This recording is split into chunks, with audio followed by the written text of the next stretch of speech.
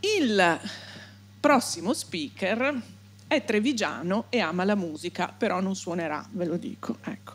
Però, appunto, ha scelto di fare nella sua vita un'altra professione, è diventato agronomo. Lui si chiama Alessandro Galardi e negli anni 90 del secolo scorso, quindi molto tempo fa, per far capire quanto siamo vecchi noi, quanto siete giovanissimi voi, ha fondato Ars Qualitatis, che è una società di consulenza che assiste le organizzazioni soprattutto nel settore agroalimentare, ma parallelamente ha anche altri interessi e si occupa di responsabilità sociale, di commercio equo e solidale e di sostenibilità. E ci aiuterà con il suo speech a orientarci perché per comprendere è sempre necessario prima di tutto conoscere. Se siamo pronti, le lascio il microfono. Grazie mille, grazie. Bene, buongiorno a tutti, grazie eh, di essere qui in questa fantastica location no? che ci è stata concessa. Eh, Dobbiamo parlare di sostenibilità, è la parola no, che ritorna in continuazione da stamattina che vi stiamo martellando su questo tema, su questo argomento. Io ho provato a cercare, a cercare questa parola, a digitare per trovare una definizione e su Wikipedia dice la sostenibilità è la caratteristica di un processo o di uno stato che può essere mantenuto mh, hm, a un certo livello indefinitamente, quindi collega il concetto di essere sostenibile al tempo. Mh? La possibilità di riuscire a fare qualcosa in un certo modo nel tempo. Bella questa definizione. Ne ho cercata un'altra anche sul dizionario Google che dice la possibilità di un processo di essere mantenuto protratto con sollecitudine e impegno e di essere difeso e convalidato con argomenti probanti e persuasivi. Quindi si concentra più sul fatto di poter dover dimostrare che un qualcosa è sostenibile, no? qualcosa di probante e di persuasivo. Anche questa è molto bella. Però non c'è altro. In realtà tutte le altre definizioni che andiamo a cercare sul web sfociano, scivolano tutte inevitabilmente su quello di cui ci ha raccontato prima Laura, giusto, la prima speaker, che è quello dello sviluppo sostenibile. No? È, è, come se fossero quasi due, no, due corpi e un'anima sola. Lo sviluppo sostenibile, qua l'ho messa in inglese, ma insomma la capacità di soddisfare le nostre attuali, ma anche le future no? esigenze delle prossime generazioni. Questa cosa è stata scritta dal, nel rapporto Brundtland, come ci diceva, eh, della conferenza mondiale sull'ambiente 1987, ok? Scritta, in realtà si è cominciato anche pri- ancora prima a dare questa definizione. 1987. Bene, oggi siamo nel 2023 e se ne parla in maniera importante, siamo qui oggi, eh? c'è il tema della, eh, della sostenibilità che, che, ci caratterizza ormai in maniera importante, però sono passati eh, 36 anni, quasi 40 anni. Eh, possiamo dire che abbiamo avuto in questi 40 anni sviluppo sostenibile? Mm, insomma, allora, almeno fino agli anni 80 sicuramente no. Ecco, diciamo che l'ambiente era l'ultimo posto da prendere in considerazione anche quando si creavano dei modelli o si creavano delle imprese. Ma anche in questi ultimi 40 anni, diciamo, c'è stato poco. È vero, ci si è lavorato. Adesso prima, mentre parlava Francesco, dove è finito? Eh, eh, quando ho fatto la tesi di laurea io, ehm, c'era qualcuno che proponeva, parlo del 1986, eh, una tesi di laurea sui biogas. No? E qualcuno l'ha anche fatta. Bellissimo questi impianti. Sono finiti poi nel silenzio totale per circa vent'anni, perché non c'erano i presupposti no? per poter eh, sviluppare questi temi che sono diventati invece in maniera fantastica all'ordine del giorno oggi, no? ehm, per dire ecco come c'erano delle idee, ma poi concretamente nella vita quotidiana, no? nella giungla fuori delle imprese, non è che sia stato fatto tantissimo.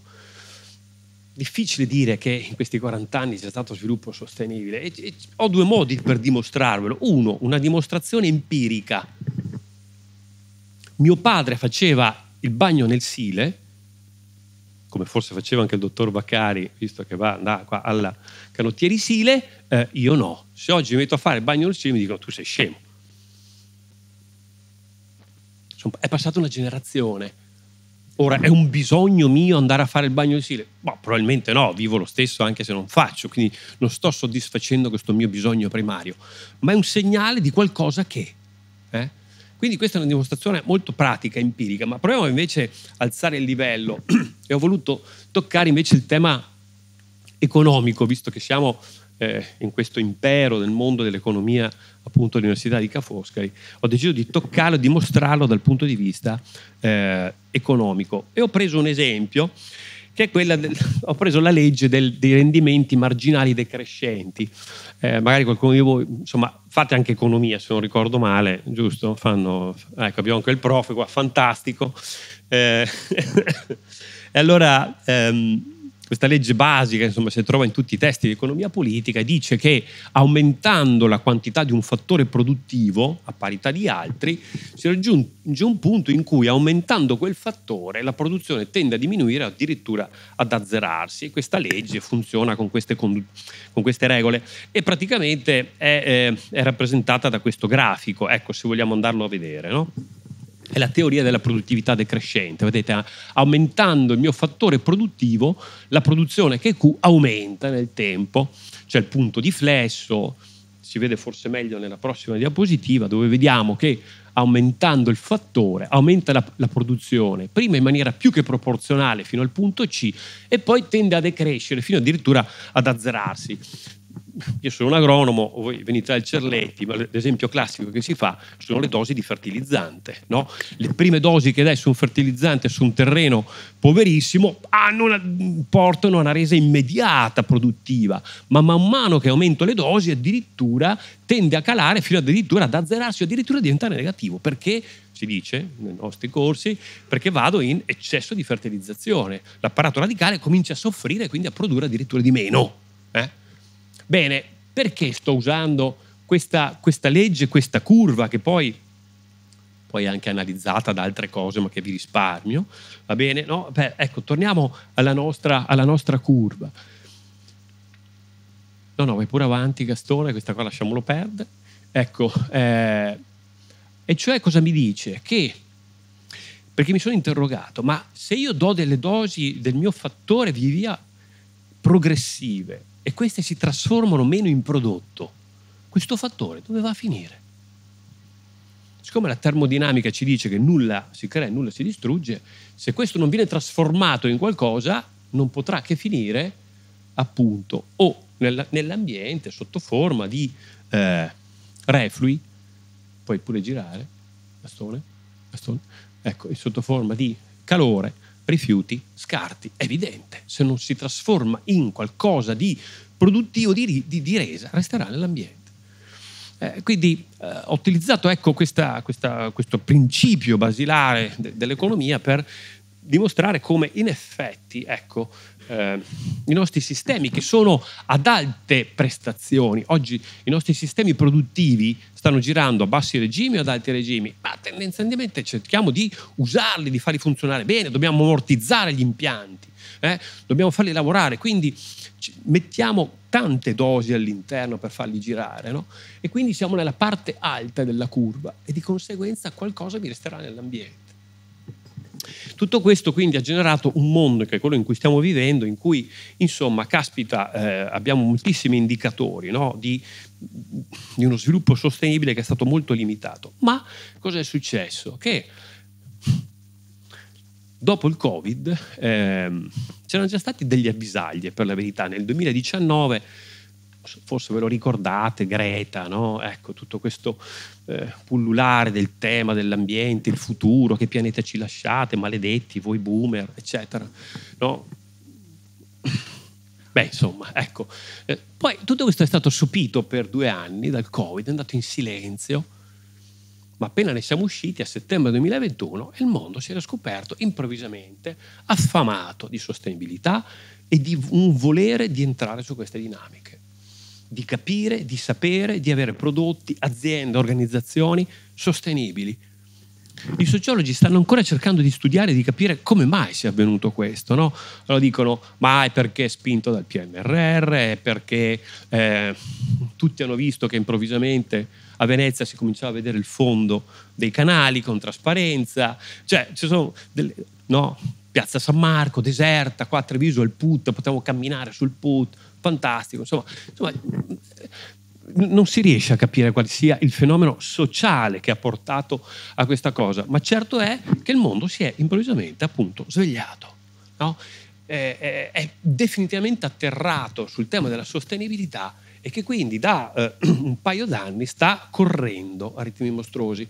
Eh, anche noi come valutatori che andiamo a certificare le aziende, come consulenti che le assistiamo su questo, detto in dialetto veneto, non restiamo drio Ok, cioè, c'è una eh, domanda ecco, di esperti di questi temi, di questi argomenti e di eh, certificazioni che è veramente intensissima. È vero questo? Ho provato semplicemente a cercare nel web l'altro giorno, mi è venuto fuori il disastro, c'è tutto sostenibile lavatrici con il detersivo, volete? C'è la, la, lavatrice sostenibile, Barilla, 476 nuovi prodotti sostenibili sfornati negli ultimi dieci anni, presi a caso, eh? cioè seguendo il coso. Crema Vichy, latte solare, più rispetto per la vita marina, cioè metto il latte solare, poi vado a fare il bagno e non inquino il mare, no? È presente l'effetto Jesolo, andate se sento odore di cocco dove sei il cocco? No, sei creme solari di tutti quelli che vanno a fare il bagno, no? eccetera. No? Quindi eh, eh, rispetto per, per la vita marina. Poi io appassionato di musica non potevo mettere musica sostenibile, è stato prodotto il primo vinile bioplastico. Eh? Quindi i dischi, che c'è un ritorno ai vinili fantastico, che forse non avete mai visto voi, ma insomma non importa, però ecco, ci sono i vinili in materiale bioplastico, fantastico questo, no? Perché il vinile è una sostanza che ci suona male, no? Ha generato tanti problemi anche qui a, a Marghera. Zoccoletti sostenibili, tutto. Cioè, ho provato a prendere un po' tutti i prodotti, ma arriviamo anche ai grandi marchi. Zara, considerata forse no, un simbolo del fast fashion, ci diceva prima, cioè una moda che va via veloce, eccetera, ha degli impegni mostruosi sulla sostenibilità, se andate a vedere no? sui coloranti, sul riutilizzo delle fibre tessili. Nel eh, 2040 Zara ha dichiarato che diventerà carbon neutral. Ok? ok, per la produzione del fast fashion, che sono considerati l'emblema quasi iconico no? del, del, consumo. No? E per ultimo non potevo mettermi anche, mettervi anche l'acqua. San Benedetto, altro elemento iconico della contaminazione.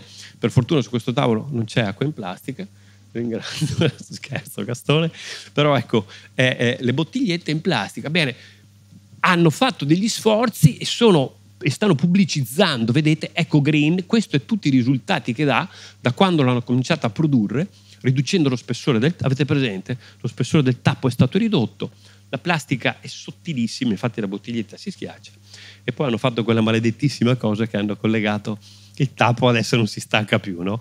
Dicevo, ma perché si infami, vedono fammi sta roba che devo per versarla mi fa il disastro? Eh, perché evitano che il tappo finisca nell'ambiente, quindi ha una sua logica tutto questo, no? anche se è diventata più scomoda per noi che la andiamo a consumare. Bellissimo, quindi per dirvi quanto c'è oggi in giro di offerta di prodotti, eh, eh, da parte di non solo prodotti ma anche organizzazioni impegnate su questo, tantissimo. Ma la domanda che ci dobbiamo porre è, no, visto che tutto questo sta succedendo in maniera molto veloce, ma questa è una svolta, è un vero cambiamento da parte del nostro settore produttivo o è una moda? Adesso tutti sono messi a fare questo perché? Perché tira, perché vende, perché soddisfa un'esigenza del mercato Oppure è veramente un cambio di paradigma da parte degli imprenditori che dicono no, no, ci crediamo, lo vogliamo fare perché è importante e lo vogliamo portare avanti. Alcuni dicono ma ci sono imprenditori che lo fanno perché ci credono, altri perché, perché vogliono vendere, perché vedono che questa cosa tira. E che cosa ci cambia? Se un imprenditore lo fa perché vede che il prodotto tira di più sul mercato, ma fa delle cose belle, positive in termini di sostenibilità, che cosa ci cambia? No? Quindi faccio fatica a dire le motivazioni di serie A e di quelle di serie B. L'imprenditore di serie A che lo fa perché ci crede, da quello B che invece lo vuole fare perché vuole vendere di più. In maniera molto di Niccolò Machiavelli direi ci interessa il risultato, no? cioè che si vada tutti in questa direzione Però questo eh, ha generato una situazione che ha delle conseguenze non sempre belle, non sempre positive, e che sono queste. Oggi c'è, oggi c'è un'assenza di regole pressoché totale nel come andare a comunicare questo, e questo ha creato una certa inflazione comunicativa. Vi ho, dato, vi ho fatto un esempio prima, no? E quindi sta creando un po' di confusione. Oggi, se io voglio dichiarare sul mio prodotto che sono sostenibile, Posso farlo? Sì. Un mese fa ho comprato un vasetto di miele a un mercatino, un vasetto di miele fatto da un produttore 4 Treviso a Vicenza e c'era scritto sul sigillo azienda sostenibile. Cosa fa? Boh, non so, azienda sostenibile. E ho deciso di andarlo a trovare, no? Qua. Un giorno ho comprato. Ma perché lei è sostenibile? Che fa? Ma perché in realtà le macchine aziendali siamo passate alle macchine a metano. Vabbè, può scrivere azienda sostenibile? Sì, cioè non c'è, è, è, un concetto questo che è deregolamentato, o meglio, non è mai stato regolamentato. E quindi un'organizzazione può dirlo, può farlo, può usarlo, non è perseguibile. Oggi. Perché in realtà, alla luce di questa di questa confusione mediatica le cose stanno cambiando. C'è una proposta di una direttiva comunitaria del marzo del 2023, attenzione, è una proposta, non è neanche una direttiva, eh? che fa parte tra l'altro del Green Deal europeo sulle autodichiarazioni ambientali per contrastare il greenwashing, sapete cos'è il greenwashing, no? Ecco, e le cosiddette asserzioni ambientali ingannevoli. Eh? Eh, tocca proprio questo argomento, questa direttiva. Tra l'altro è una proposta, deve diventare direttiva e poi dovrà essere, quindi dovrà essere approvata dal Parlamento e dal Consiglio europeo e poi fatta la direttiva dovrà avere o dei regolamenti applicativi o dovrà essere recepita da normativa nazionale per diventare pratica. No? Quindi ci sono ancora dei tempi tecnici per arrivare a questo. Però cosa dice questa direttiva che è intervenuta su questo argomento? Dice le autodichiarazioni ambientali prima che le aziende le possano comunicare, dovranno essere verificate in modo indipendente e convalidate da prove scientifiche. Quindi dovranno le imprese definire quali sono gli impatti su cui vanno a lavorare e i compromessi che dovranno fare per, ok? Per cui ecco questa dicitura azienda sostenibile perché ho a macchina a metano, per capirsi, mm, sarà messa, sarà messa in discussione. Cioè ci vuole della sostanza, ci vuole una, come diceva Laura, una misurazione di queste cose, no? capire quanto, non solo cosa sto facendo, ma anche quanto. Eh? e quale sarà il mio impatto. Per cui questa proposta probabilmente ci aiuterà eh, a, a, a, capire meglio e, eh, e, e, identificare meglio anche i prodotti che, eh, e le cui organizzazioni che sono impegnate su questo. Bene, ma detto questo, quindi la nostra, prima abbiamo visto dei grandi marchi no? che abbiamo fatto vedere, ma per la nostra realtà produttiva, parlando qua di noi, del Veneto, caratterizzato da imprese medio-piccole, no? la medio-piccola impresa, bene, eh, perché oggi questi imprenditori si pongono la domanda, no? ma ha senso per noi andare a investire in sostenibilità, un imprenditore medio-piccolo, no? con risorse limitate. No? Cosa posso fare io sulla sostenibilità? Perché nella testa degli imprenditori gli frullano una valanga di domande. Alcune di queste. Prima, siamo in un mercato un po' stazionario, stabilità o addirittura in qualche settore contrazione dei consumi. Ha senso andare a investire in un momento di stagnazione, di decrescita? Prima domanda. Secondo, i costi diventare sostenibili costa in un modo o nell'altro, o a livello economico, o a livello sociale, o a livello mentale, o meglio ancora, a livello di tutti e tre, ha un costo. Chi sosterrà questi costi? I margini. Quali margini si possono ottenere su prodotti più sostenibili sul mercato? Sarà possibile alzare i prezzi in virtù della sostenibilità? il mercato sarà in grado di recepirle queste cose oppure il margine deriverà solo dalla riduzione dei costi? Eh? Altra domanda, i finanziamenti. Esistono vere e reali canali, forme per essere aiutati da parte degli enti pubblici, dell'Unione Europea, per andare in questa direzione? Non ho risposto a queste domande, ma sono queste quelle che frullano nella testa delle persone che gestiscono un'impresa che devono decidere che investimenti, se e quali investimenti fare. E infine la fiducia. No? Sarò in grado io come imprenditore di trasmettere fiducia in merito al mio impegno che sto facendo sul tema della sostenibilità? Eh? Riesco cioè a veicolare questo messaggio fino al mio cliente, al mio consumatore finale? E quindi nasce la grande domanda come trasmettere fiducia. Come trasmettere fiducia che le cose che racconto sul mio sito web, sul mio catalogo, sul mio prodotto, sulla mia etichetta, sono cose vere, no? Sapendo che la fiducia è sempre questa posizione mediana tra chi è, chi va a credere a tutto quello che gli viene detto, eh? Siete presente quello che... C'è la pubblicità dice bisogna mangiare caramelle, mangia caramelle, bisogna mangiare hamburger, via mangiamo hamburger. Vabbè, insomma, queste barzellette. Ecco, oppure dall'altra parte chi è sospettoso, cioè non crede a nulla. No? La fiducia è una situazione mediana, quindi ascoltare, filtrare e e arrivo quindi. Ma come trasmettere fiducia? Ci sono tre strumenti, tre macro strumenti semplificando. Il primo, crearsi una reputazione e quindi una credibilità aziendale, ma ci vogliono tempi lunghi. Hm?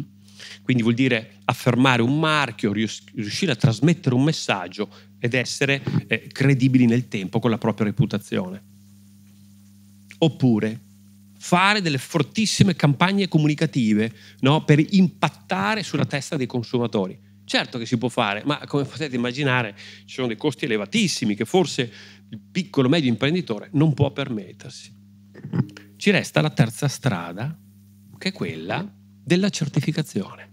Scelgo cioè un modello, uno schema, un bilancio da seguire e lo applico, faccio le cose che devo fare e me lo faccio verificare. E questo ha tempi e eh, costi che sono alla portata, non dico di chiunque, però indubbiamente alla portata anche della piccola media impresa.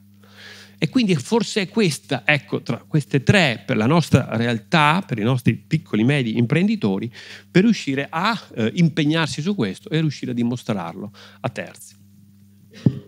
Tutto bello? Eh, sì, eh, c'è una... Prima Laura ci ha fatto vedere qualche logo, ve ne aggiungo qualcuno, eh, ed è questo è solamente un esempio. Eh, ho messo anche Qualitas, tranquillo. Okay. Eh, in realtà l'Unione Europea ha fatto una, un censimento dei loghi e dei marchi che ci sono, sono 230 in Europa. Ok? Cioè cose che possono essere veicolate su un prodotto e che in qualche modo eh, hanno a che fare con la sostenibilità o per la parte economica o ambientale o sociale. È chiaro che c'è una babele comunicativa su questo. Eh? C'è un disorientamento totale di questo aspetto. Io una settimana sì, una settimana sì, sono chiamato da imprenditori e mi dicono, dottor, dottor, venga che mi deve spiegare. Perché hanno questo desiderio di entrare su queste cose, di farle, di dimostrare, ma non sanno che strumento scegliere. C'è veramente un'offerta di prodotti, di strumenti, di regole, di standard, di, di, di bilanci, di linee guida da seguire, su cui è difficile discernere. Eh? E quindi il nostro lavoro è quello di aiutarli a capire qual è il prodotto per te giusto, eh? in funzione di quelli che sono i tuoi obiettivi, e su questo poi ci andiamo a lavorare. Eh, è questo quindi il lavoro che facciamo, cioè di aiutare gli imprenditori a capire qual è lo strumento più giusto per, no? per riuscire a diventare un'azienda sostenibile, credibile e quindi a comunicarlo ai propri clienti o ai propri consumatori. Eh, è un mercato, è un lavoro questo interessantissimo, ma eh, volevo farvi vedere appunto, e, e, chiudo, l'ultima diapositiva in cui eh, ha parlato di latino, io peggioro, parlo di greco. Qua abbiamo, abbiamo messo queste due paroline di Pantarei, di questo presocratico fantastico del 500 avanti Cristo, eh, che diceva tutto scorre, parlava del fiume, visto che abbiamo sempre il Sile qua dice un po' la vita è come no? mettersi sulla riva di un fiume dove nessuna cosa è uguale a se stessa nel tempo, perché tutto scorre. Eh? Questo è il suo principio filosofico e quindi tutto cambia. Ma ce lo portiamo dentro perché? Per dire che al di fuori di queste mura, fuori, eh, il mondo fluisce, il mondo va avanti. Bisognerebbe togliere una S, vi ho detto tutto scorre, togliamoci la S, fuori di qua tutto corre. Eh, a velocità altissime. Eh. Eh, in due anni si è guadagnato in termini di sostenibilità tutto quello che non è stato fatto nei 30 anni precedenti. Per cui veramente fuori si va a ritmi elevatissimi. Ecco. E, e il mondo sta correndo. Voi siete tutti, tutti, giovanissimi, quindi avete la possibilità di allenarvi e di cominciare a correre, come si diceva. Per cui eh, vi invito a cominciare ad allenarvi e sul mercato del lavoro vi stiamo aspettando. Mm? Grazie.